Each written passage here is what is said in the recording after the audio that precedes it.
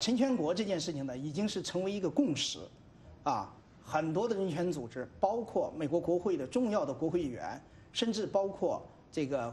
白宫的一些主要的国家领导，都在